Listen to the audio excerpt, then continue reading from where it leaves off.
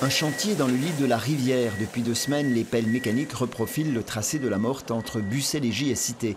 700 mètres de restauration du cours d'eau après avoir fait sauter ce bouchon maçonné, servant à alimenter un moulin aujourd'hui désaffecté. Le coût total des travaux, évalué à 250 000 euros, sera financé à 80% par l'agence de l'eau pour permettre le décloisonnement de 3,5 km de cours d'eau.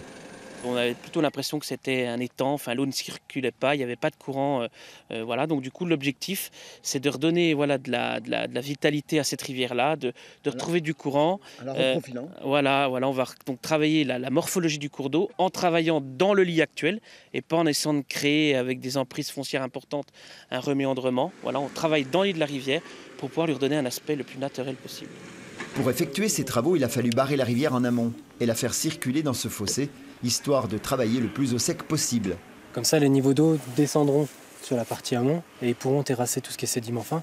Et une fois que les sédiments fins sont tout terrassés, ils pourront faire euh, tous les terrassements de talus en fait, qu'ils ont fait sur la partie, euh, la partie amont.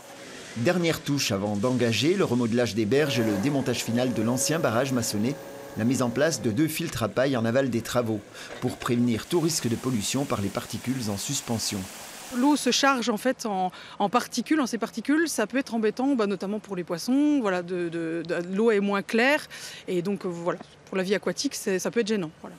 Début novembre, les équipes d'aménagement procéderont à la plantation de boutures de saule et autres arbustes à racines nues, familiers des berges et des milieux aquatiques.